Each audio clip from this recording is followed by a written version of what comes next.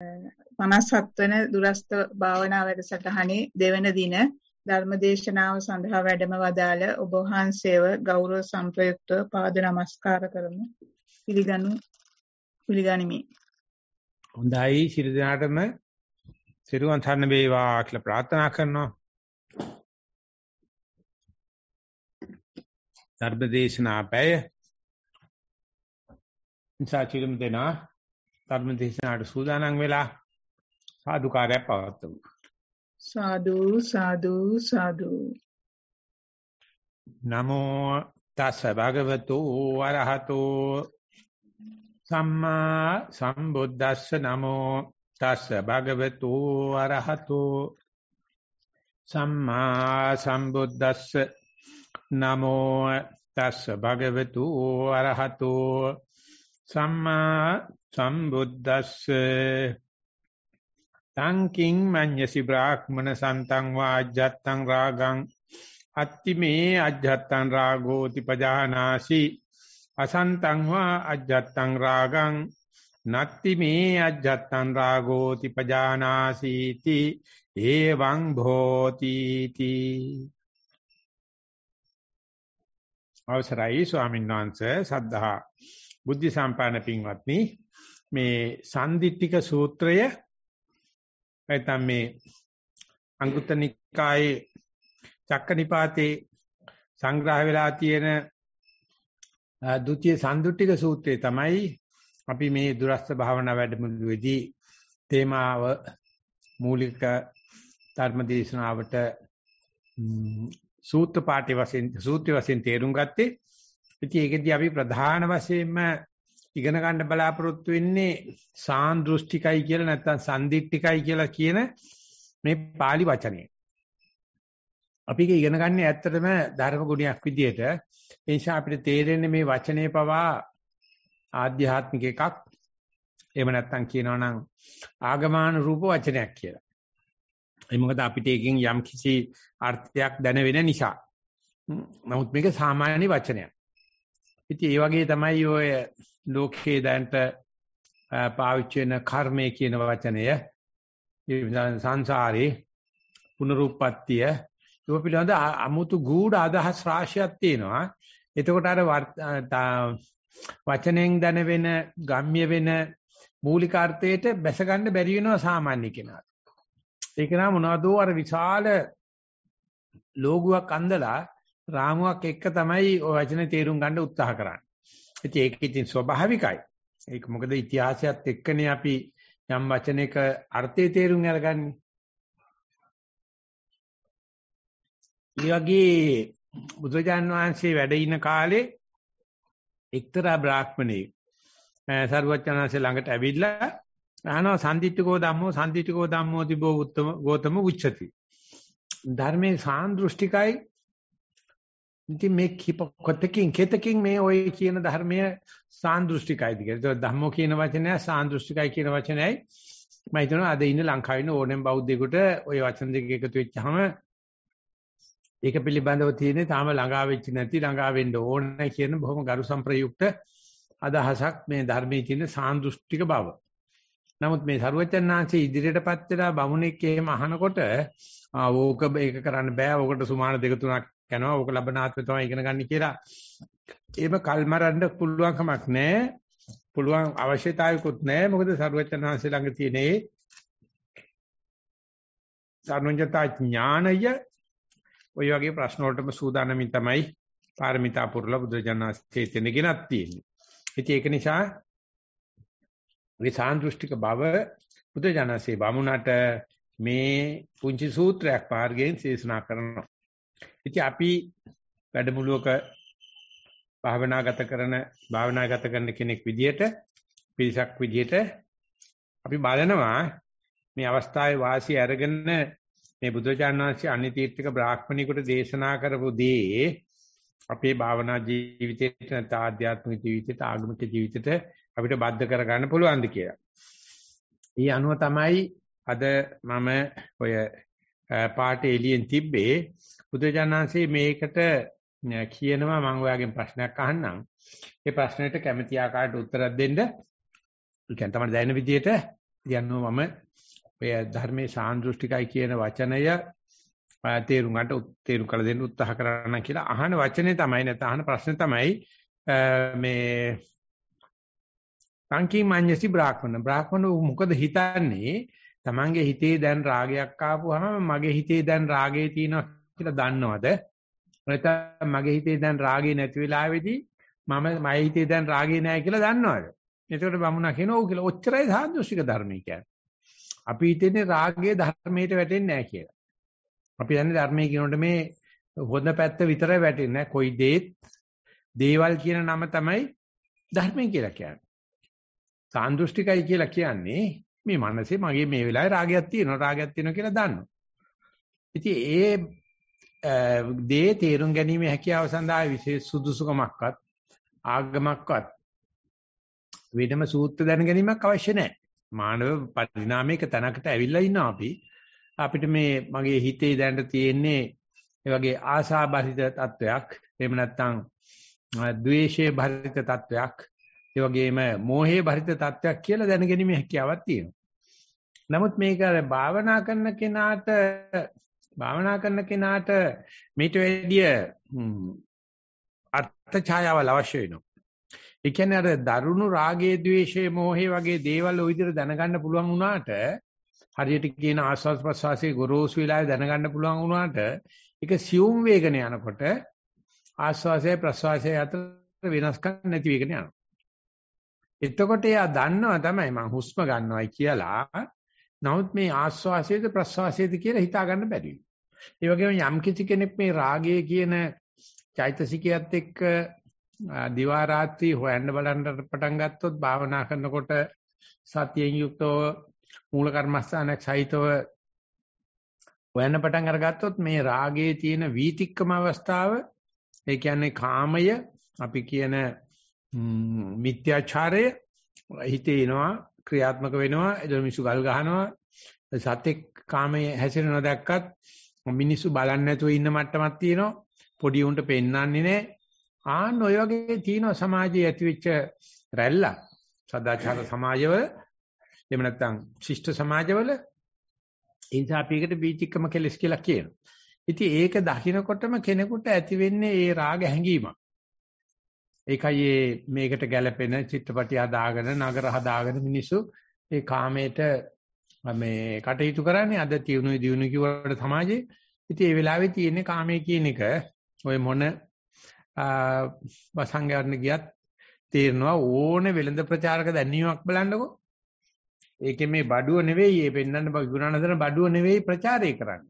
වෙන මොකද්දෝ එකක් කාමයක් පෙන්වන්නේ. ඉතින් අර මිනිස්සු බලන්නේ මේ ඒ කාමයේ දිහා නමුත් මනුස්සයාගේ හිත ඇබ්බැහි වෙලා ඉබේම ඒකෙන් මේ මේ වෙනද බාණ්ඩිටත් මිනිස්සු කඩේට ගියාම වෙනද බාණ්ඩි නිකම්ම මිලිදි ගන්න.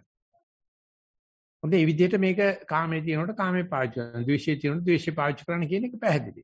නමුත් ඊට වැඩි සියුම් කාමයක් තියෙනවනේ. අපි විවිතික්‍රමණය කෙලෙස් නැතිවලා පරිඋත්ථාන කෙලෙස් භූමියට ගියාට පස්සේ භාවනා කරන වෙලාවේදී ඒ දෙදෙනෙක් දෙදෙනෙක් විසින් එකතු වෙලා කරන ඒ ග්‍රාමීය කෘත්‍ය නෙවෙයිනේ කරන්නේ. හිතෙන් කාම ඡන්දයක් ඇති වෙනවා. එතකොට කාට හරි පුළුවන් නම් මේ කාම ඡන්දයයි ඊට පස්සේ තියෙන මේ ව්‍යාපාදයයි දෙක හඳුනාගන්න ඒක කොච්චර වටිනවද කියලා බලන්න. මේ සාන්දෘෂ්ටික ධර්ම කියන්නේ ඔච්චරයි. උන් දැනගන්න අඳුරගන්න හැම කෙනා ලැජ්ජාවටපත් වෙන බලන්නකො මගේ හිතට කාමයේ ආවා බලන්න මගේ හිතට ද්වේෂය ආවයි කියලා. නමුත් ඒ කාමයේ උනත් කමන්නේ අඳුනගත්ත එක බුදුහාමුදුරුවෝ නිසා වෙච්ච වැඩක් නේ. කාමයේ උනත් කමන්නේ අඳුනගත්ත එක ධර්ම නිසා වෙච්ච වැඩක් නේ. කාමයේ උනත් අඳුනගත්ත එක තමන්ගේ සීල නිසා වෙච්ච වැඩක් නේ කියලා ඒ කාමයේ අඩුගානේ රාගය අඩුගානේ ද්වේෂයෙන් වෙන් කරලා අඳුර ගන්න පුළුවන්කම ගැන සතුට වෙන කෙනෙක් මේ අවුරුදු 40 ඇතුළත මම කවදාවත් දැකලා නැහැ. ඒගොල්ලන්ගේ තියෙන්නේ බලන්න කාමයාව මට බලන්න ද්වේෂය ආවා කියලා. ඒකට තියෙන අර කාම මිත්‍යාචාරයක වගේ තියෙන වීතික්කම කෙලෙස් වලට තියෙන බය අර තරමටම අර තමන්ගේ හිතේ ඇති වෙන කාමච්ඡන්දෙට ව්‍යාපාදෙට ඇති වෙනවා. ඒක සාධාරණයි. මොකද හේතුව ඒ හිතෙන් ඇති වුණාට නතර වෙන්නේ නැහැ. ඒක අන්තිමට ගිහිල්ලා වීතික්‍රමණය වෙලා කයින් වචනෙන් ඒ දුක්කටපත් වෙලා පරාජිකා වෙලා නඩු කියලා දික්කසාදලා යන තැනට යනවා. අපි හිතමු එහෙම එකක් නෙවෙයි දැන් මේ යෝගාවචරයේ මනස අරගත්තොත් යෝගාවචරය දන්නවා දැන් ආයේ මගේ හිතේ තියෙන කාමය කියලා. මගේ හිතේ තියෙන ද්වේෂය කියලා. මේ කාමයේ තියෙන ආයේ කාමය ද්වේෂය නෙවෙයි. ද්වේෂයේ තියෙන ආයේ ද්වේෂය කාමය නෙවෙයි කියලා දැන ගැනීම සාන්දෘෂ්ටික ධර්මයක් ධර්මයේ තියෙන සාන්දෘෂ්ටිකකම කියලා ඒත්තු ගන්නලා දෙන්න මේ වණින්නම් පුළුවන් වෙයි කියලා හිතන්න අමාරුයි. මේ වගේ බණ කීයක් කිව්වත් පුළුවන් වෙයි කියලා හිතන්න අමාරුයි. මොකද මේ ඒ රාගය මේගොල්ලෝ හිතන්නේ සාන්දෘෂ්ටික කතාවක්. ධර්ම කතාවක්. රාගය කියන්නේ කෙලෙසයක් කියලා බලන්න. දැන් බුදුජානසෙ පෙන්ලා දීලා තියෙන්නේ මේ සන්තං වාජ්ජත්තං රාගං අතිමි අජ්ජත්තං රාගෝති පජානාසි. මහණ බමුණ උඹේ ඇතුලේ මගේ හිතට රාගය ආපු වෙලාවේ මට රාගය තියෙන කියලා දැනගන්නවා. මගේ හිතේ රාගේ නැති වෙලාවේ මගේ හිතේ රාගේ නිසා දැනන. ඕකට තමයි මේ සාන්දෘෂ්ටික කියලා කියන්නේ. ධර්මයේ තියෙන සාන්දෘෂ්ටිකම කියන්නේ ඕකයි කියලා. ඉතින් මේ බමුණ යම් අපහසුතාවයටපත් වෙන්න නැද්ද? ඒ වගේම අද ඉන්න බෞද්ධයත් පුදුම විදිහට අපහසුතාවටපත් වෙනවා මේ තමන්ගේ හිතේ තියෙනවා. ඒක සතිය නිසා දැනෙනවා.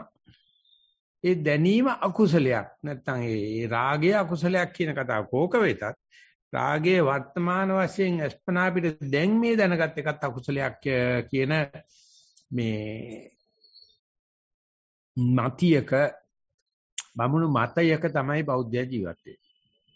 ඉතින් ඒක ව්‍යා විතික්‍රමණය කාමයේ වගේ නැත්තම්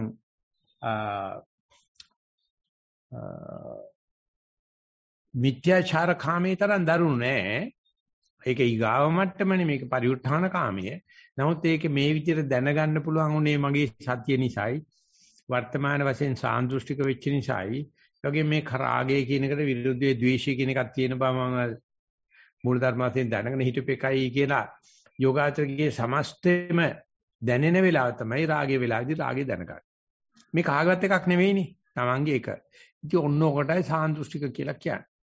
ඉතින් සාන්දෘෂ්ටික පදය විස්තර කරනකොට සාන්දිටිකෝ බුද්ධජානනාංශේ භගවා භගවන්තන් සම්දිටිකෝ ධම්මා සම්දිටිකෝ ධම්මෝති භෝගෝතම උච්චති කිත්තවතානුකෝ බන්තේ සම්දිටිකෝ ධම්මේ හෝති ඊට පස්සේ බමුණා හරි ලස්සනයි කතාව යහපත් තුන කාලිකෝ ඒපයිසකෝ ඕපනයිකෝ පච්චත්තමේතබ්බු විඤ්ඤෝහිති. ඒ කියන්නේ ධර්මයක තියෙන ಗುಣ නමයම මේ බමුණ දන්නවා. එයා බුද්ධ ආගමේ හින්දා නෙවෙයි. දැන් අපිට උනත් එක පාටම ධර්මයේ ගුණහය කියන්නේ කිව්වොත් අපිට මතක නැහැ. නමුත් මේ බමුණ අන්‍යාගමික කෙනෙක් වුණත් කියනවා මේ සාන්දෘෂ්ටික ගුණය එනවනම් ඒකත් එක්කම ධර්ම પરම්පරාව එනවා. යම් කිසි කෙනෙක් මේ සාන්දෘෂ්ටික කියන ගුණය පිළිබඳව පරිචයක් ලැබෙනවා නම් එහි පසිකයි කියලා කියන්නේ මේ අස්පනා අපිට පේනවා කියන තේ ඒව බලව කියලා පෙන්වන්න පුළුවන්. මේ මේ මේකයි මේ කියන්නේ කියලා. සාන්දෘෂ්ටික නැති දේවල් වලට තමයි ඔය ඒව බලව එහි පසික පෙන්වන්න බෑ ඕපනයිකෝ. ඒකෙන් මේ යන්තම් කාමයේ පිළිබඳව වීතික්‍රම කාමයේ පිළිබඳව දැනගන්න එක ඉතින් සාමාන්‍යයෙන් ලේසි. ඒත් ඇති ඊට පස්සේ පරිඋත්ථාන කෙලෙස් වලටත් ඕක අරගෙන යන්න පුළුවන්. මට කතන්දරේ ගෙනියන්න ඕනේ අනුසය කෙලෙස් වලට යන්න පැත්තට. එතෙන් යනකොට හුඟක් සියුම්. ඒතර රාගය සහ ද්වේෂය අතර වෙනස හොයාගන්න බැරි තරම් සියුම්. හරියට ආස්වාද ප්‍රසවාස දෙක අතර වෙනස නැතිනවා වගේ වම්ම දකුණ වශයෙන් ඇවිදිනකොට දැනුණාට මොකද වෙනස නැති වෙන්න වගේ පිම්බීම හැකිලිම සිදුනා දැනුණාට මොකද දෙකේ අතර වෙනස නොදැනින්නා වාගේ ඔන්න ඔය තුනී වෙන තැන හිතලා වෙන්නදී බමුණ අහන්න ඇත්තේ ඒක ඇත්තටම ඇසිය යුතු ප්‍රශ්නයක්. ඔය හුඟා කමඨාන් සුද්ධ කරනකොට නොස නොහලා නොහා අහන්නේ ඕක තමයි. ඒගොල්ලන් සාමාන්‍යව විතික්‍රම කාමේ තේරෙනවා. නමුත් පරිඋත්තාන කාමයේ හෝ ඒක තේරුම් ගත්තත් ඊට පස්සේ අනුශේ වශයෙන් තියෙන කාමයේ අනුශේ භූමිය ගත්තොත් ඕක වැඩ කරන්නේ මනාපමනාප කියන වචන දෙකේ. යම් කිසි දෙයකට මනාපයි කිව්වනම් ආයි උගුරට බෙහෙත් පොන්න දෙයක් නැහැ. ඉතින් කාමේ තමයි, රාගේ තමයි. යම් කිසි දෙයකට මම මනාප නැහැ කියනවා නම් ඒකේ ඒ ඔය විතික්කම මට්ටම හෝ පරිඋත්ථාන මට්ටමට එන ව්‍යාපාදේ තමයි ඔය. නමුත් අර අනුසේ මට්ටමේ බලන කිසිම වස්තුවක් නෑ මනාපමනාප දෙකට අහුවෙන්නේ නැති. වස්තුවක් බලනවත් එක්කම එතන මනාපමනාප අහු වෙනවා. සද්දයක් අහනවත් එක්කම රූපේ එපා වෙලා සද්දෙට මනාප වෙනවා. ගන්ධරකට රසකට පහතකට යන හැම වෙලාවෙම ඒව පිළිබඳව හිතේ පිටිපස්සේ මනාපමනාප දෙක පහනවා. රුචි අරුචි කියන දෙක පාවිච්චි කරනවා.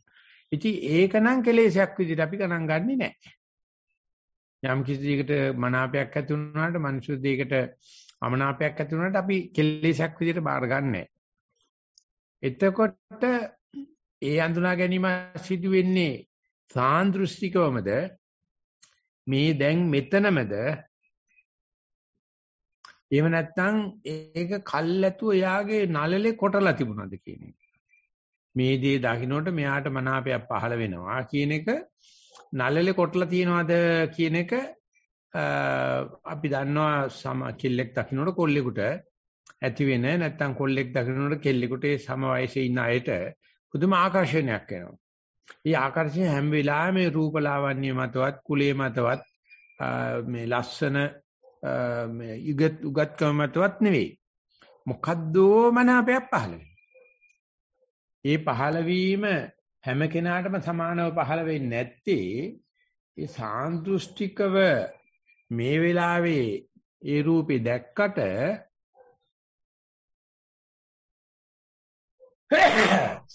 ඒකට බැඳෙන්න තියෙන කර්ම ශක්තිය ඒ දේ දකින්නකොට මේකට ආකර්ෂණ වෙන ශක්තිය නළලේ කොටලා තියෙන එකක්. ඒක ගැඹුරින් කියවෙනවා චක්කුංච පටිච්ච රූපේච uppajjatu චක්කු විඥානං තින්නම් සංගති පස්සෝ පස්සපච්චා වේදනා වේදනාපච්චා සංඥා තණ්හා ආදී වශයෙන් මේ රූපයක් දකිනකොටම පහළ වෙන්නේ වේදනා සංඥා චේතනා පස්ස මනසිකාර කියන ක්‍රමයට කියන එක තමයි අපේ අටුවාවේ සඳහන් වෙලා තියෙන්නේ. සමහර තැන්වල මදුපිණ්ඩික වගේ සූත්‍රවලත් ඒකම තියෙනවා. නමුත් සාරිපුත්‍ර ස්වාමීන් වහන්සේගේ විස්තර කරනකොට ස්පර්ශේ නෙවෙයි ඉස්සලා සිද්ධ වෙන්නේ. වේදනා සංඥා චේතනා පස්ස මනසිකාර කියලා දකින්නකොටම ඒ වස්තුව පිළිබඳ වින්දනයක් ඊට පස්සේ චේතනාවක් වේදනා සංඥා ඊට පස්සේ චේතනාවක් පහළලා තමයි ස්පර්ශ කරන්න කියලා කියන්නේ. එතකොට පේනවා ස්පර්ශ වෙන්නේ ඉස්සලා ඒ දකින්න වස්තුවට කබරකට නම් ඒ මැරිච්ච බලුකුණකට එහෙම නැත්නම් බල්ලෙකුට නම් අසුචි පිටකට එහෙම නැත්නම් ඌරෙකුට අසුචි පිටකට එහෙම නැත්නම් කොල්ලෙකුට කෙල්ලෙක් කෙල්ලෙකුට කොල්ලෙක් පිළිබඳව ඒ ඇති වෙන දේ කලින් සිද්ධ වෙච්ච දෙයක්. අන්න එවැනි දෙයක් මේ සාන්දෘෂ්ටික මනස මෙහෙවන සතිමත් යෝගාවචරයට දැනගන්න පුළුවන්ද කියන එක නම් බමුණා විසින් අහනවා නම් අහන්න තිබුණ ප්‍රශ්නේ. මම මේ පැහියෙක් වගේ කතා කරන්නේ. ඒකට යන්න නම් ඔය වීතික්‍රම කෙලෙස් අනු පරිපරිඋත්තාන කෙලෙස් දැනගෙන යන්න ඕනේ අනුසය කෙලෙස් වශයෙන් යනකොට මෙන්න මේ දේ දැක්කොත් මේ පුද්ගලයා නම් අනිවාර්යයෙන් මේකට ආකර්ෂණය වෙනවා මේකට නම් ද්වේෂ කරනවා කියන එක උපදිනකොටම නළලේ කොටාගෙන එන්නේ. ඒක තමයි මේ පුද්ගලයාගේ ඇත්තටම ඇතුලේ ගැඹුරේ තැම්පත් වෙලා තියෙන චරිත ලක්ෂණය. ඒකේ මේ පුද්ගලයා දන්නේත් නැහැ. එහෙම නැත්නම් මේ පුද්ගලයාට කියන්නත් බෑ මං ඒ අයි ඒ ඒ වස්තුවට ඒ විදිහට කැමති උනේ. ඒ රූපෙට, ගන්ධට, රසට, පහසට ඒ ගියා නෙවෙයි එතෙන්ට නිකන් ග්‍රහය අරන් ගියා කියන එක තමයි කියන්නේ. ඉතින් ඒ වගේ දෙයක් අඳුනා ගන්න බැරිමද එහෙම නැත්නම් මේ සාන්දෘෂ්ටිකව තියෙන මේ ප්‍රසිද්ධ රාගය ප්‍රසිද්ධ ද්වේෂය හඳුනා ගැනීම හරහා අපිට කවදාටද සිද්ධ වෙන්නේ කවදාටද පුළුවන් වෙන්නේ කවදාටද මුලිච්ච වෙන්නේ අපි මේ මේ ජීවිතේට එනකොට මේ ආත්මෙට එනකොට ගෙනාපු ඒ අපේ ගැබ්බෙලා තියෙන ශක්තිය අපි කියන්නේ අනුසේ ආසේ දැනගන්නේ කවද්ද කියලා බැලුවොත් ඒක ටික assume. නමුත් මේ සූත්‍රය හරහා ဒုတိ ය සම්දිත්තික සූත්‍රය හරහා අපි ළඟ දැනට තියෙන දැනුමෙන් අපිට පොඩ්ඩක් පොඩි මේයුමක් පෙළගැස්මක් එහෙම නැත්නම් දිගුවක් දෙන්න පුළුවන් ගන්න පුළුවන් මේ කියන ගැඹුර. උදාහරණයක් වශයෙන් ගත්තොත් අපි උනන්දුවෙන් ආදරෙන් වාඩි වෙනවයි කියලා හිතමු පරියන්කයකට.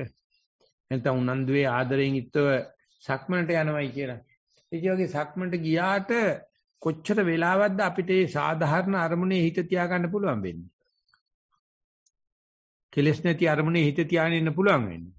ඒ වෙනුවට කොච්චරක්නම් හිත කොච්චරක්නම් හිත එක එක දේවල් වලට අදිනවද? ඉතින් අදින දේවල් සමහරලාට චිත්තජයි. භාවනාවට වාඩි වෙන තියෙන චිත්ත tattve මත. එහෙම නැත්නම් ආහාරජයි. අපි වෙනකොට කාලා තියෙන ආහාර මත. එහෙම නැත්නම් උතුජයි. ඍතුව මත නැත්නම් කර්මජයි. මේ අපිට තියන්න ඕන හිත සතියේ නැත්නම් මූල කර්මස්ථානේ නැත්නම් මේ මේ නික්ලේශී අරමුණේ එක එක අරමුණට ඇදලා යන හැටි. ඒක සම්බන්ධයෙන් දෙන්නේගේ කිසි වෙනසක් නැහෙනි. කිසිම කෙනෙකුටම කවවම දායකවත් මට ඇති වෙන්න සත්‍යමත් වෙන්න පුළුවන් වුණා කියලා සතුටක් එන්නේ නැහනේ. කියන කොච්චර සත්‍යමත් වෙන්න හැදුවත් අසතියට යනවා. ඉතින් මේ අසතියට යෑම නැත්තම් සතියෙන් හිත කඩා යෑම අපිට පේන්නේ උදුමාකාර විවිධාංගීකරණය වෙනවයි කියලා.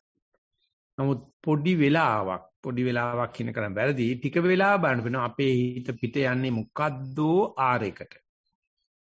උදාහරණයක් වශයෙන් කිව්වොත් එහෙම නිදාගම වාඩි වෙලා ඉන්න ඔය දැන් අපි දුරස්තෝනේ මේ යන්නේ දැන් 90ක් විතර මේකට මේ සම්බන්ධ වෙලා ඉන්නවනේ ඔයගොල්ලෝ ඔක්කොම එක තැනක වාඩි වෙලා ඉන්නවා කියලා කියන්නේ වාඩි වෙලා ඉනකොට ඔය 90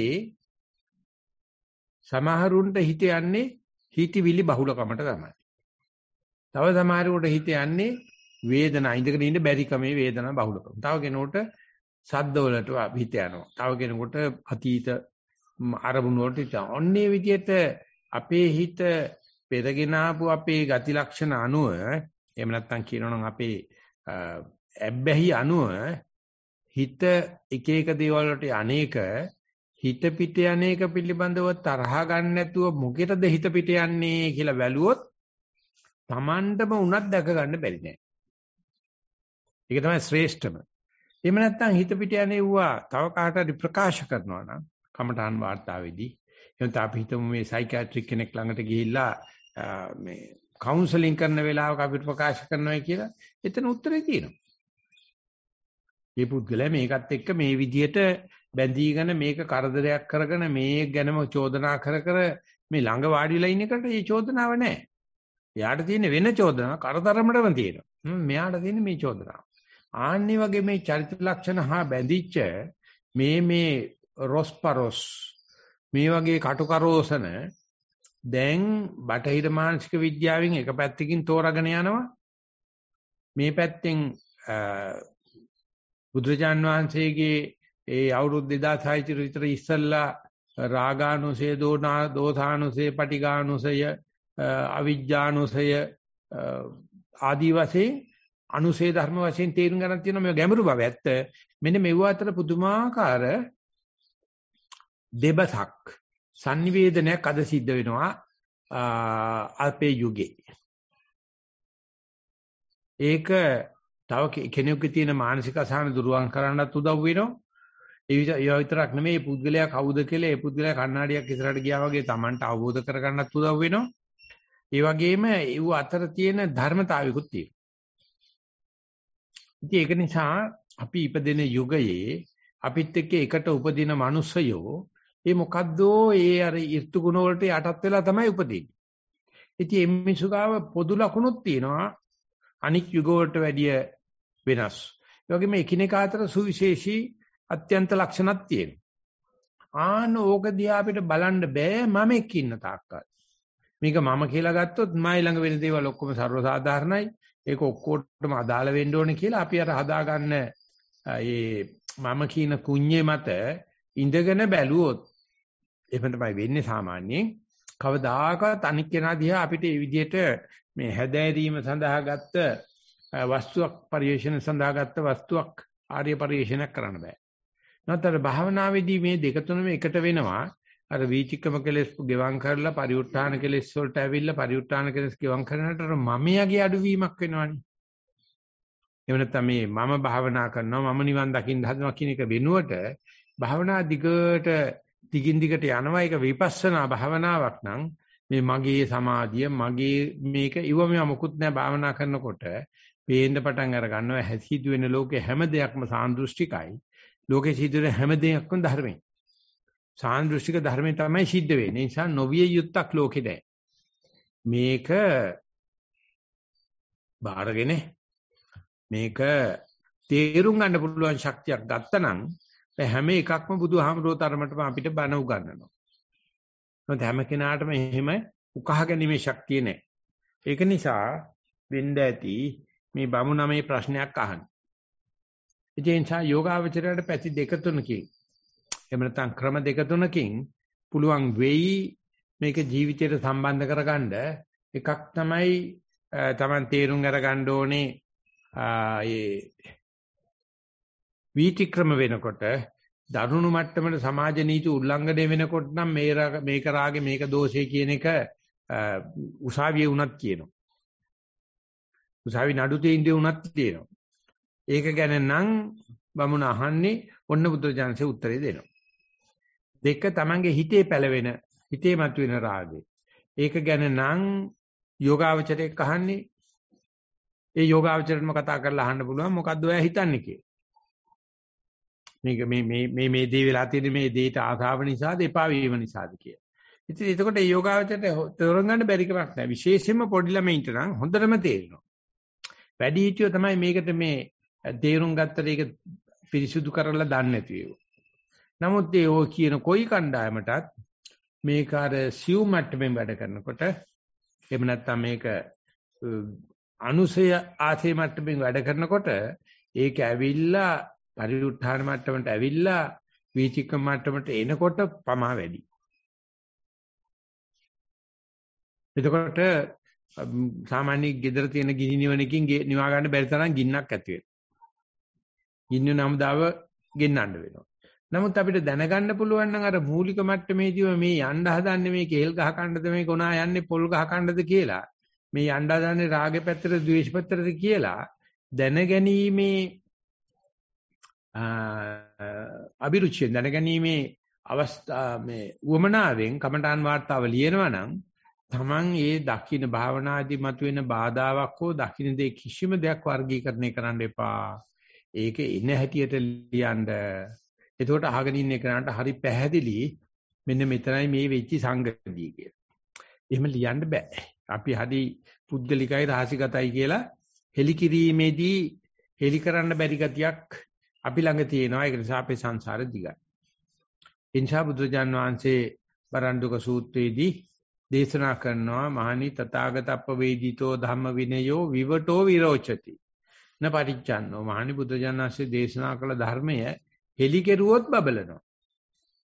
මේක පුද්ගලිකයි මේක රාසිකතයි කියලා වාගෙන හිටියොත් බබලන්නේ නැහැ. ඒ නිසා මේ බබලන ප්‍රබාසර හිත දකින්න නම් දේවල් හෙලි කරන්න දේවල් වල තියෙන විනිවිද පේන භාවය පෙන්වන්න ඕන. ඒක තමයි අපි මේ කමඨාන් සුද්ධ කිරීමෙන් අවසල ගන්න හදන්නේ. ඒක තමයි ධර්ම දේශනාවලිමුත් අවසල ගන්න හදන්නේ අඩුම ගානේ ඒ තමයි භාවනා කරනකොට එන බාධාවක් වේවා එහෙම නැත්නම් දකින්න හම්බෙච්ච දෙයක් වේවා අහන දෙයක් වේවා එහෙම නැත්නම් අපි කිව්වොත් මූල කර්මස්ථානේ වේවා ඒ දැනිච්ච පැතිකඩ වැටහිච්ච ආකාරය ඒ විදිහටම කියන්න පුළුවන් නම් අහගෙන ඉන්න කෙනාට හරි ලේසි මේක තේරුම් කරලා මේ විස්තර කරලා දෙන්න. ඒ විතරක් නෙවෙයි Tamanටමත් තේරෙන්න පටන් ගන්නවා. ඉතින් ඒක තමයි කර්මස්ථානාචාර්යවරයෙක් නැත්නම් කර්මස්ථාන බණකදී කියන්නේ. ඕක අනුන්ගේ පිහිටෙන් ආධාරයෙන් ඉස්සලා මොලින් අල්ලගන්න. නමුත් අන්තිම වෙනකොට Tamanටම තේරුම් ගන්න පුළුවන් මෙච්චරක් මේ අස්පනා අපිට තිබුණ දේ Taman නොදක වලහාගෙන කටයුතු කරාද? නමුත් මේ සත්‍ය දිගේ ඉදිරියට යනකොට යනකොට අනිකුත් භාවනා කරන ඇත්ත එක්ක විශ්වාසය පහළ වෙනකොට විස්තර කීමේ හැකියාව දිනු වෙනකොට පැහැදිලිවම පිටින් එන එකක් නෙවෙයි නිවන කියන්නේ. අර තිබිච්ච දේ හෙලි කිරීමක් සිදු වෙනවා. ඒක හෙලි කිරීමත් සාන්දෘෂ්ටිකම තමයි. තමා වශයෙන්ම දැකිය යුතුයි. කවුරුත් ඇවිල්ලා පෙන්ලා දුන්නොත් එහෙම මේක මෙහෙම වෙන දෙයක් මෙහෙම වෙන දෙයක් කියලා අපි සාදු කියලා ගෙදර ගියාට අපිට මතක් වෙන්නේ නැහැ ඒක. Taman දැන ගැනීම තමයි ඒ නිසා මේ සං ඒ දෘෂ්ටිය සං කියන අර්ථය බුරුමේ ස්වාමීන් වහන්සේලා අර්ථ තුනකින් විස්තර කරනවා. එකක් යන්ත්‍රයෙන් පටන් ගත්තට ඒක සම්පූර්ණ වෙනවද එnde එnde එnde එnde. ඒ අතින් සාං. අපි අන්තම් මේ පරි වීතිකම කෙලෙස් එක අඳුරගෙන තිබ්බනම් ඒක දන්නවනම් ඇති ඊට පස්සේ ඒක පරිඋත්තාන කෙලෙස් වලින් ගිහලා අනුසි කෙලෙස් දක්වා ඒක ක්‍රමක්‍රමයෙන් ක්‍රමක්‍රමයෙන් ඒක සම්පූර්ණ වෙන ගතියක් ධර්මයේ තියෙනවා ඒක ධර්මතාවය ඒක තමයි ඕපනයික කියන්නේ දෙක සොයන් මේ දැන ගැනීම කාගත් පිටකින් ආධාරකින් නෙවෙයි සිද්ධ වෙන්නේ තමන්මයි දැනගන්නේ ඒකට සං කියන පදේ අර්ථ දෙනවා ඒ වගේම මේ මොහොතේමයි මේක කවදාවත් ලබනාත්මය අවබෝධ කරගනි. එනතම් මේ ළඟ තියෙන මේ ගියාත්මය අවබෝධ කරපුවයි කියන එක නෑ. ඒ නිසා මේ කාරණා තුන අතින් අපි හැම කෙනෙක්ම රහතන් වහන්සේ නමක්ව තරම් වටිනවා. අපි කවදා හෝ මේ දේ සම්පූර්ණ ඉගෙන ගන්නවා. ඒ ඉගෙන ගන්න කිසි කෙනෙක්ගෙන් ආධාර උපකාරයතු නෙමෙයි ස්වයම්බුවමයි. තුන්වෙනියට ඉගෙන ගන්න මේ මොහොතේමයි. ආයි කොයි වෙලාවක හරි වෙන්නේ මෙන්න මේ අත්යෙන් බලනකොට මේ දෘෂ්ටිය මේ දැකීම වර්තමාන මොහොතේ සිද්ධ වෙනවා. අපි ඒකට දැක්මක් නෑ අපිට. ඒක අල්ලගන්න විදියක් නෑ අපිට. ඒකට එල්ල වෙන්නේ නෑ අපිට. අපි අර වලහන ගතිය එහෙම නැත්නම් අපි ළඟ තියෙන අර පුද්ගලිකයි රාසිකතයි කියන ගතිය නිසා ඒ වුණත් දැන් මේ වෙනකොට මේ සතියත් එක්ක ලෝකයේ ඉදිරියට ගිහිල්ලා ගිහිල්ලා ගිහිල්ලා මේ හෙලිකිරීම හරහා මේ දේවල් උත්තර ලබන බව අද දේශපාලන රහස්වල පවා පේන තියෙනවා. විකිලීක්ස් බැලුවත් ඉතාමත්ම ගැඹුරු සූක්ෂම ක්‍රම වලට දාලා අපේ පුද්ගලික තොරතුරු කවුරු හරි ගත්තත් ඒ වෙලාව ටික කාලයක් ඒක රැකලා ඒගොල්ලෝ අපිට මඩ පහරවල් එල්ල කරයි. නමුත් අන්තිමේ සත්‍ය ජය ගන්නවා. අයවැය රහසක්වත් රකින්න බෑ. දේව රහස් කියලා රකින්න දෙයක් නැහැ. ඉතින් ඒක නිසා අපි මානවය විශ්වාස කරගෙන. එහෙම නැත්නම් අපි කියනවා නම් බණ භාවනා කරන අය අතර සමගියක් ඇති වෙලා විශ්වාස කරගත්තා නම් මේක පුද්ගලිකයි මේක රහසිගතයි කියලා කියන්නේ නැතුව අන්න ඒ sannivedana ක්‍රමයේ තුල අන්නේ අන්‍ය එකිනෙකා අදාහ ගන්නා ක්‍රමයේ තුල නිවන සමග්ගාණන් තපෝසුකෝ කියලා පුත්‍රජානනාංශය දේශනා කරනවා. ඉතින් මේ සමගිය වගේ දෙයක් භාවනා කරන්න ඉස්සරලා අපි සමාජයට දීලා පටන් ගන්න ඕන නැත්නම් භාවනාදී බේම ඔය කියන සමගිය එනවද කියන කාරණාව තේරුම් ගන්න සෑහෙන කාලයක් යනවා. උගව දෙනකේ Tamanට විශ්වසනීය Tamanගේ තැනීම ඒ විදිහටම බලාපොරොත්තු වෙනවා. නමුත් ඉස්සරහට යනකොට යනකොට වෙන්නේ භාවනා දියුණු වෙනකොට Taman අනුන් අදහන ගතිය වැඩි වෙනවා. ඒ අනුව අනුන්ගෙන් Tamanට අවශ්‍ය විශ්වසනීයත්වය ඒ කියන අවශ්‍ය අරසාව ඉබේම ලැබෙන්න පටන් ගන්නවා. ඉතින් ඒක නිසා ඒ සාන්දෘෂ්ටික ධර්මයේ තියෙන ගතිය තමයි ඉස්සර අපේ හිතුවේ ඒක දැනුමින් ලැබෙනවා, සල්ලි වලින් ලැබෙනවා, එහෙම නැත්නම් මන්ත්‍රීතුමාගේ ලියුමෙන් ලැබෙනවා කියලා. නමුත් මේ සාන්දෘෂ්ටික ධර්මයේ කියන එකේ මානවය තුළ දැනටමත් තියෙන එකක් ගැන මේ කතා කරන්නේ. නමුත් අපි ඒක නෙවෙයි බලන්නේ සාමාන්‍ය භාවනා නොකරන වෙලාවේ දැනුම ලබා ගන්න කටයුතු කරනවා, සල්ලි ලබා ගන්න කටයුතු කරනවා, අර්ක මේක ලබා ගන්න අපි දවසේ පැය 23ක් විතර ගත කරනවා. භාවනා සඳහා සමාහට පැය පැයක්වත් ගත කරන්නේ නමුත් කමන්නේ අපි කියමු භාවනා නකිරුවත් කමන්නේ. ඒ කරන කියන ඕනම දෙයක් සතියෙන් යුක්තව කරන්නකෝ. අද අහලා තියෙන ප්‍රශ්න වල තිබුණේ එන හැම හිතවිල්ලක්ම එහෙම යන්නේකක් නං ඒ හිතවිල්ල කළු ලෑල්ලේ ලිව්වයි කියලා කළු ලෑල්ල නරක් වෙන්නේ නෑනේ. ලිව්වා මැකුවා ඉවරයි. ආයෙත් කළු ලෑල්ල තමයි. අන්න ඒ වගේ මේ හිතේ තියෙන මේ ඕන දෙයක් පිළිබිඹු කරන ගතිය, නිදර්ශනය කරන ගතිය, හෙලි කරන ගතිය වෙන මොනම දෙයකවත් නැහැ. මොකක් හරි හිතට වැටිච්චාම ඒක පිළිබිඹු කරන ගතියක් තියෙනවා. ඒක නිදර්ශනය කරන ගතියක් තියෙනවා. ඒක සුගුණවත් කරන ගතියක් හිතේ තියෙනවා. ඉතින් ඒ හිත ඒ විදිහට නිදර්ශනය කරන තාක්කල් පිළිඹු කරන තාක්කල් දක්වන තාක්කල් අවබෝධ වෙච්ච මනසක් විදිහට පෙන්වන්නේ නැහැ. කොයි වෙලාවට හරි මොනවා හරි හිතකට හිතට වැටුණට ඒකේ නිදර්ශනය කිරුවට ඒකෙන් කිසිම ගුණ දොස් විචනයක් නැතුව වෙච්ච දේ දුට්ටු දේ දුටු පමණින් අසූ දේ අසූ පමණින් යනවා නම් අර හිතේ තියෙන මේ පිළිඹු කරන ගතිය නිදර්ශනය කරන ගතිය ගුණ දොස් පෙන්වන ගතිය අවලංගු වෙන්න පටන් ගන්නවා. ඒක තමයි භාවනා ජීවිතයේදී, gedarathara ජීවිතයේ භාවනා කරන අය තුළ සතියින් ඉන්න අය තුළ කියන්නේ මේ දේවල් නීරස වෙන්න පටන් ගන්නවා කියලා. ওই දේවල් වල මොනම වෙනසක් මේක නිකන් දිගට යන වැඩ පිළිවෙලක් තියෙන්නේ. ඒකෙන් සිද්ධ වෙන්නේ එකම තමයි. ආන්නේ ගතියට එනකොට දේවල් බොඳ වෙලා ලොඳ වෙලා යනවා. ඉතින් අපි හිතන්නේ ඒකට භාවනාව කැඩලයි කියලා මොකද අර මමයා තාමත් උත්සාහ කරන්නේ අර දකින්න අහන දේෙන් මොනවා හරි පිළිමිබුවක් ඇති කරන්න. මොනවා හරි නිදර්ශනයක් ඇති කරන්න. මොනවා හරි කාට හරි කියන්න. නමුත් මේ කියන්න දෙයක් ඇත්තේ නැහැ ඔක්කොමලා දන්න දෙයක් මෙතන සිද්ධ වෙන්නේ. කියන්න තරම් දෙයක් ලෝකේ ඇත්තේ නැහැ. රිංග ගන්න තරම් දෙයක් ලෝකේ ඇත්තේ නැහැ. අභිවර්ධනය කරන දෙයක් ලෝකේ ඇත්තේ නැහැ. ඉතින් ඒ ඔක්කොටම තියෙන ඕකමයි. ඒගොල්ලොත් ඕක දන්නවා. ආයි මම කියන දෙයක් නැහැ නේ කියලා. යෝගාවචරයට තේරෙනකොට යෝගාවචර නිකම්ම සමාජයෙන් කොන් වෙන ගතිය සහ සමාජයේ මාව කොන් කරනවා වගේ දැනෙන ගතියක්. ඒ වෙනතම මට මේ නිදිමත ගතිය වැඩි වගේ ගතියක්, එපා වෙන ගතියක් වගේ තේරෙනවා. ඒක මේ අමුදරුවන් එක්ක පෞද්ගල ජීවිත ගත කරන අය පව ප්‍රකාශ කරන හැබැයි ඒගොල්ලෝ පරාජිතව නෙවෙයි ප්‍රකාශ කරන්නේ.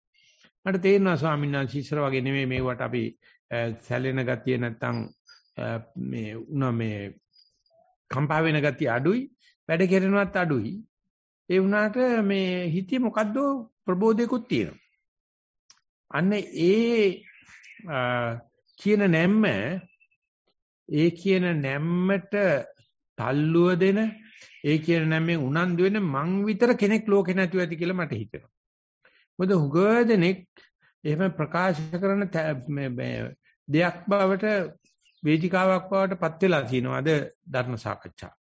අද කමඨාන් සුද්ධ කිව්වි.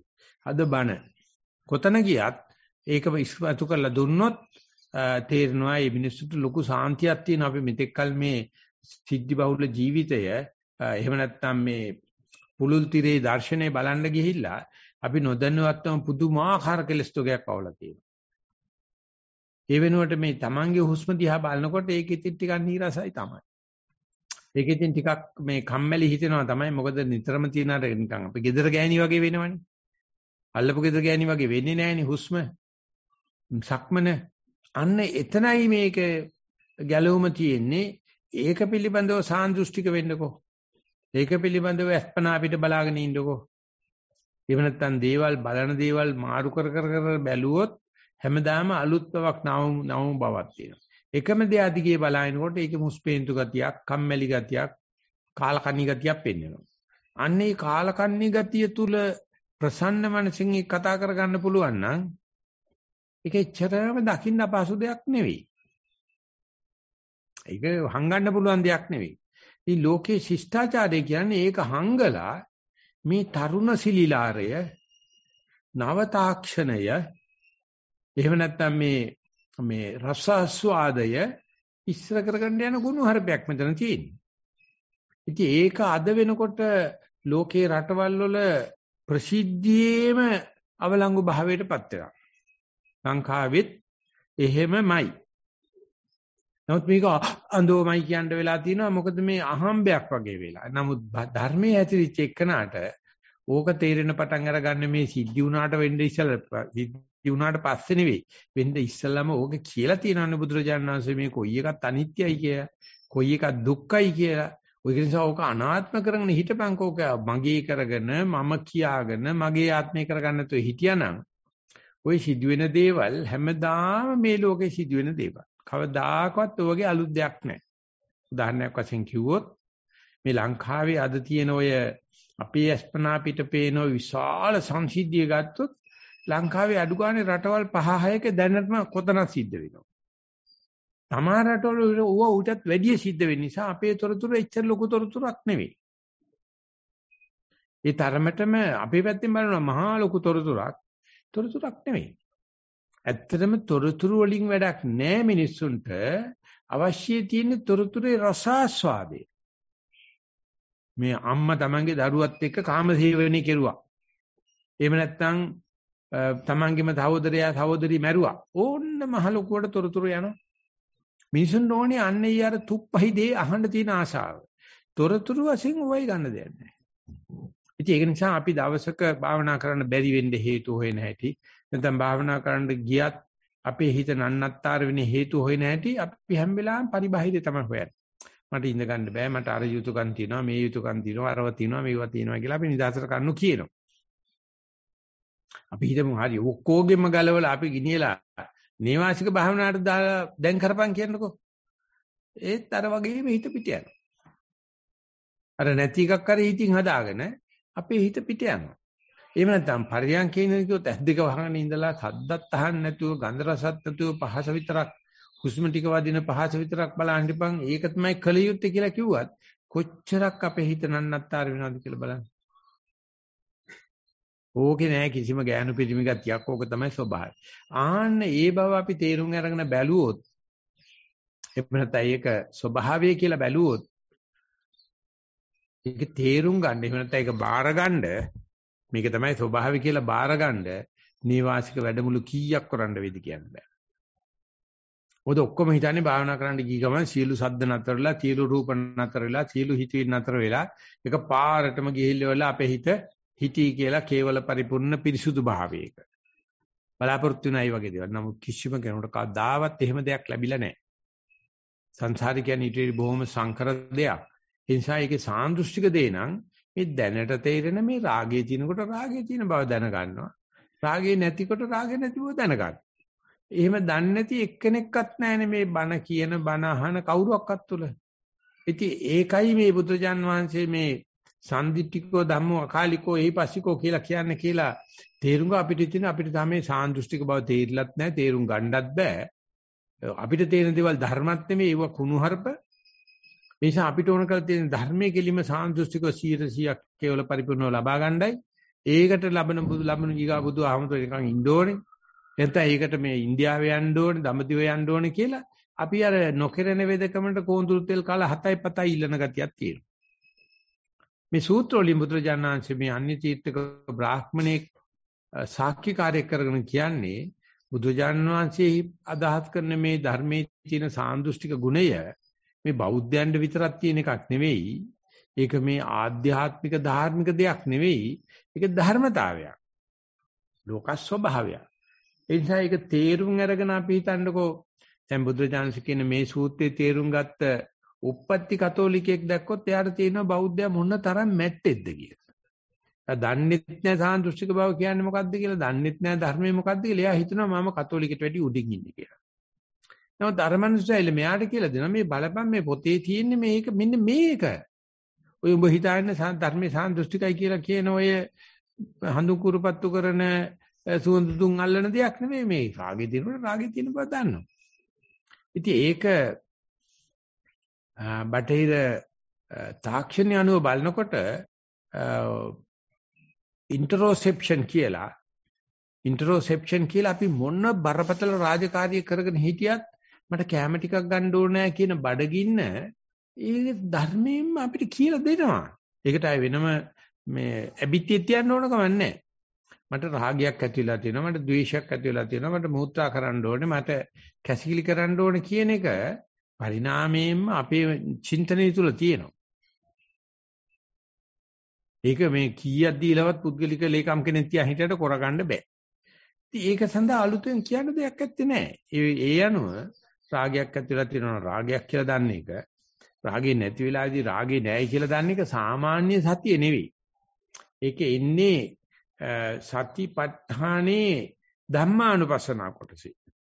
එතකොට තමයි මේවා ධර්ම බවටපත් වෙන්නේ. ඒත් එක්කල් ඒවා කුණු හරප. නොදකින් ඉව කාටවත් එන්න හොඳ නැහැ. ආවත් දැනගන්නත් හොඳ නැහැ. කියන්නත් හොඳ නැහැ කියලා කොහෙන් කරනවා. නමුත් අර ධම්මානුපස්සනාවට ගියාට පස්සේ ඇතිවෙච්ච විශ්වාසය අනුව ඒ කෙනාට ඉස්සරහට මෙව තමයි ධර්මතා කියලා කියන්නේ. එහෙනම් තමයි සාන්දෘෂ්ටිකයි කියලා කියන්නේ කියලා අඩු ගානේ සත්පුරුෂයෙකු ළඟට ගිහිල්ලා කියන්න පුළුවන්. මෙන්න මේකයි සිද්ධ වෙන්නේ කියලා. ඒ 78 79 විතර ඒ සතිය පටන් ගත්තට පස්සේ මම රෑ නෑ දවල් නෑ ධම්මික හමුරු ගාවට ගිහිල්ලා කියනවා මෙන්න මේ තරම් රාගයක් තියෙනවනේ මගේ හිතේ. මේ තරම්ම භාවනා කරනකොට මෙහෙම කරකවගෙන යනවනේ කිය. ඉතින් හමුරු කොයිද මොකද්ද ප්‍රශ්නේ කියලා. ඉතින් ප්‍රශ්නේ කරන්නේ කොහොමද මම මේ සතිය වන්න කෙනෙක් බලන්නකෝ මම දන්නේ නැහැ නෙමෙයි මේ තරම් ද්වේෂයක් තියෙනවා මේ තරම් රාගයක් තියෙනවා මේ නිර්වාණ. ඒකට ඒ හමුරු තමන් පැවිදි වෙන්න ඉස්සර කාර්ය ෆොටෝ ටිකක් ඇල්බම් එක ගෙනලා වෙනවා මේ බලපන් මං කෙල්ලොත් එක්ක ගත කරලා තියෙන හැටි. මේන් බලපන් මම ඒ කුඩු ගැහිම් වගේ දේවල් කරලා තියෙති ඒ නිසා ඒක මේ කොළු කාලේ ඌ ගණන් ගන්න දෙයක් නැහැ කිය. ඉතින් මං හිතුවා මේක ඇත්තටම මේක ඇත්තටම මේ මගේ හිත සනසඬ කියන කතාවක් වෙන්නේ නැති කියලා. ඉතින් භාවනා කරන ඉන්නලාගේ එක දවසක් පුදුමාකාර විදියට හරි සහැල්ලුවක් හරි පිරිසුදු ගතියක් හරි සතුටක් ඇති වෙච්ච වෙලාවෙත් රෑ නෑ දවල් නෑ දුවගෙන ගිහිල්ලා මං කිව්වා. එතකොට තව මණ්ඩලයක්ම හිටියා. ඊට මං කො මෙන්න මෙහෙම අගුලක් වුණා. මම මේ ජීවිතේට මං හිතුවේ නෑ එහෙම දෙයක් මට කැපයි කියලා. මොකද මයි ළඟ තියෙන හරියක් තියෙන මේ රාගේ මයි ළඟ තියෙන හරියක් තියෙන ද්වේෂේ මං දන්නවා. ඒක මේ බෙදාගත්ත බත්පත වගේ. නමුත් එදා මෙන්න මෙහෙම භාවනා කරනකොට මෙහෙම වුණා. දස්කොයිති උච්ච රෝගේ ගණන් ගන්න දෙයක් නෑ. ඕක ඔක්කොම තියෙන්නේ හිතේ තමයි. ඉතින් ඒක දැකලා කියන්න කෙනෙක් ඉන්නවනේ අපිට දැන්. අපි කතා කරනවා. ඒ කතා කරනකොට කිව්වා අම්මට ඔහොම වෙලා නැහැ මට උනනම හරි සන්තෝසයි නමුත් උඹ බලපන් මේ පොඩි කාලයක් භාවනා කරලා උඹට වෙලා සන්තෝසයි. ඒක දිගට කරපන්. ඒව නැතුව මේ ඒක කරන්න ආයේ බුද්ධ සත්කාර අනම්මනම් මොකුත් ඕනේ. ඔය දෙකම එහෙම නැත්නම් ඔය කියන ධර්මය කියලා කියන අපි හිතන ඔය නිවන් ලැබපු රහතන් වහන්සේ ළඟ තියෙන ඔය සාන්දෘෂ්ටික අකාලික එහිපතික ඕපනයික පච්චත්තම් වේිතබ්බෝ විඤ්ඤෝහි කියන ಗುಣ ටිකයි එනත මේ රාගය කියන්නේ රාගයේ තියෙන වෙලාවේ දැන ගැනීම කියන ඒ තියෙන අපි නුගුණ ටික කියලා. ඔය දෙක අතින් අපි දෙන්න අපේ කට්ටියගේ අපි අප අතර භාජනවල කිසිම අඩුපාඩුවක් නැහැ. වෙනසකුත් නැහැ. සමානව තියෙනවා. භාවනා කරගෙන කරගෙන යනකොට තමයි අපිට සත්පුරුෂය හම්බ වෙලා මෙවැනි සූත්‍ර අහන්න ලැබිලා අපිට තේරෙනවා මේක බුදුජාණන් වහන්සේ කාලේ තිබුණ සජීවී සාකච්ඡාවක සජීවී දෙබසක මාතුකාවක්. නමුත් එදිනෙදා ගමේ කඩේ පොලේ ඔව්ව නැහැ. ඒගොල්ලෝ කතා කරන්නේ මේ මමය වැඩ කරන කතාවනේ. හැම වෙලාවෙම මම ආයනේ වැඩි කරන්නේ. මේ ඒකින් අයින් වෙලා සෑහෙන දුර ගිය සත්‍ය වඩන කෙනෙකුට තේරෙනවා මේ සාන්දෘෂ්ටික ගතිය කියන එක මම එන්නේ ඉස්සල්ලත් ලෝකෙ තිබිලා තියෙනවා. මේ හිතට එන කොයි දේ තුලත් රාගේ ආවත් ධර්මතාවයක් තියෙනවා. රාගේ ආවත් රාගේ ආවයි කියලා දැනගැනීමේ කිසිම අකුසලයක් නැහැ. ඒ වගේම විරාගය ආවනේ විරාගය ආවයි කියලා දැනගැනීමේ කුසලෙකුත් නැහැ. කුසලතාවයක් තියෙනවා මේ රාගේ රාගේ ද්වේෂයේ ද්වේෂයේ වෙන්කොට හඳුනා ගැනීම. නමුත් විරාගය දැක්කයි කියලා කුසලතාවයක් නෙවෙයි එතන තියෙන්නේ. අන්නේ ටික තමයි ඔය සාමාන්‍යයෙන් දර්ශන විද්‍යාවේ විද්‍යාවේ උගන්වන්නේ. දැකපු දේ දැකපු විදියට වාර්තා කිරීම. ඒකට අපි යථාභූත ඥාන දර්ශනය කියලා කියනවා. ඉතින් ඒ අනුව බලනකොට ඒ ධර්මයේ තියෙන ওই සාන්දෘෂ්ටික ගුණය සමහර වෙලාවට පෙන්නනවා ධර්මයේ විසින් පටන් ගන්නකොටමත් ආදි කල්යාණ වශයෙන්මුත් මේක සුන්දරයි. සාන්දෘෂ්ටික ධර්මයේ ඉස්සල්ලාම සතිය පටන් ගත්ත කෙනාට ලැබෙන මේ යන්තම් සන්තම් සතියත් පුදුම සුන්දරයි. ඊට පස්සේ මධ්‍යම වේලාවේ කරගෙන යනකොට මේ වීතිකම කෙලස් මේ පරිඋත්තාන කෙලස් මේ අනුසය කෙලස් කියලා යම් කිසි කෙනෙක් මේ පදාසේ හරිසනකොට දිනවා. බුද්ධ අම්මේ මේකේ පුදුම ගැඹුරක් තියෙනවා මම දැනගෙන හිටියේ නෑ. බලන්න කොච්චරක් ඒකේ රසයක් තියෙනවද කියලා. ඒ ධර්මයේ මධ්‍යේ කල්යාණයක් තියෙනවා. ඊට පස්සේ අපි හිතමු ඒ දැන් අධි කල්යාණ හිතුවා ඒක තමයි ලොකුම කියලා. මධ්‍යේ කල්යාණ කියම හිතනවා දැන් නම් මට කාරණා කාරණා දෙනවා දැන් තමයි හොඳ කියලා. ඊට පස්සේ අපි කියමු පරියෝසాన කල්යාණ කියලා. රහත් වුණාට පස්සේ ඒ දුරිතන යකෝ මෙච්චර කල් මොනවද මේ පොඩි ළමයි එකක් අත ගෑ වගේ දේවල් වලනේ සතුටක් තියෙන දැන්නේ තේරෙන්නේ කියලා. ඉතින් මේ ධර්මයේ තියෙනවා ඒකේ ආදි කල්යාණ මජ්ජේ කල්යාණ පරියෝසాన කල්යාණ. ඉතින් ඒ නිසා අපි කාටවත් මේ මවාපෑමක් කරන්න මාකටිං පාරක් දාන්න ඕනේ කරන්නේ ඔය මුල තේරුම් ගත්තේ නැති එක්කනට මැද උගන්නන්න යන්න එපා. අග උගන්නන්න යන්න එපා ගැඹුරු හරිය තියෙන ඒක කියලා. ඔය මුල ඉගෙන ගැනීමෙම විඳිය හැකි රසයක් තියෙනවා. සාන්දෘෂ්ටික ගතියක් තියෙනවා ආදි කල්යාණය කියලා එකට සඳහන් කරලා තියෙනවා. ඉතින් ඒ නිසා කවුරු හරි මේ වතුරට බැස්සනම් සති කියන පවුලට එකතු වුණා නම් සතිපාසලට එකතු වුණා නම් සතිවර්ණ එකතු වුණා නම් ඒ මනසත් තුළ පුදුමාකාර පිවිදීමක් තියෙනවා. ඒක මේ මේ ආදුනිකයි මිත්‍යා දෘෂ්ටිකයි අනම්මන මොකක්වත් නැහැ. ඊට පස්සේ දැන් සතිපාසලේ ඉඳලා නැත්නම් නිසන්වනේ ඉඳලා භාවනා කරනකොට පේනවා මේ මිනිස්සු මේ මොන තරම් දේවල් වලට රටේ මේ කලබල කරනවද භාවනා කරන මිනිස්සු ඔක්කොමත් තියෙද්දි හම්බෙච්ච අවස්ථාව ගිහිල්ලා පුළුවන් තරම් භාවනා කරන. ඉස්සෙල්නම් අපිට වඩ වෙලාව තිබුණෙත් නැහැ. කාටද කතා කරන්න ඕනේ දන්නෙත් නැහැ. කාගේ ළඟින්ද මේක දැනගන්න ඕනේ දන්නෙත් නැහැ. දැන් ටික ටික ටික ටික එන්න පටන් ගන්නවා.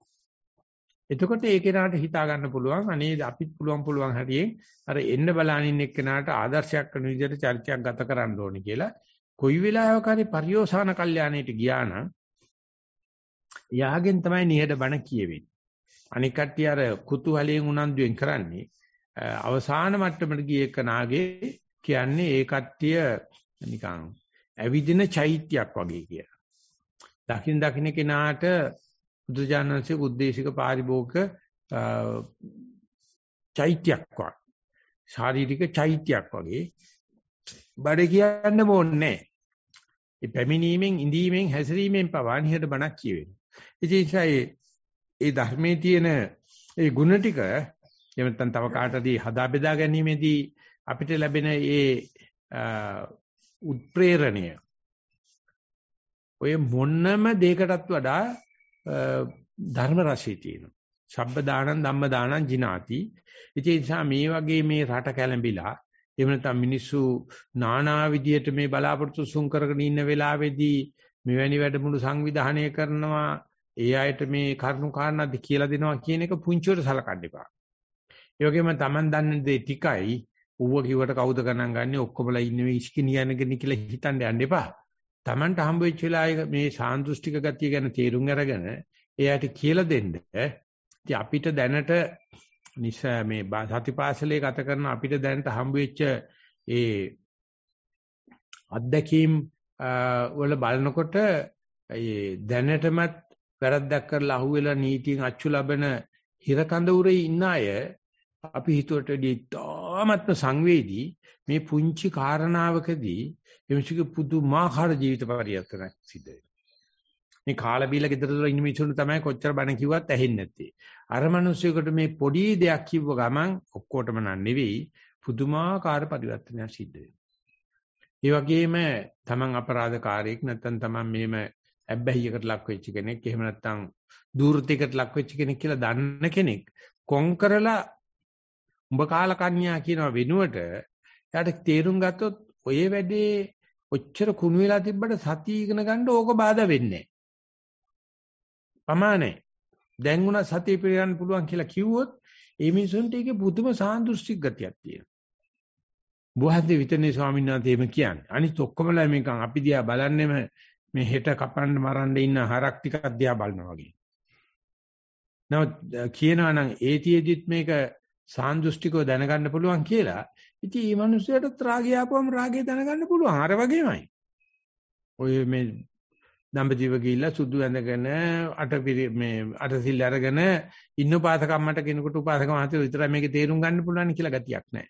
ඉතින් ඒ නිසා යපි තමන් යම් ආකාරයකටද මේකට බැසගත්තේ තමන් යම් ආකාරයකටද මේක දිගේ ඉදිරියට ගියේ අන්න ඒ විවෘත භාවයේ දොර කිසි කෙනෙකුට වහන්න එපා. හැම කෙනාට මේක දෙන්න ඒ දීමේදී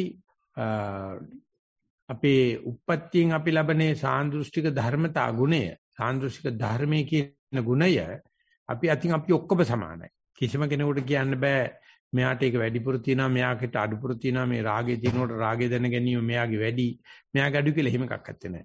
ඒක ධර්මතාවය චිත්ත නියාමයක්.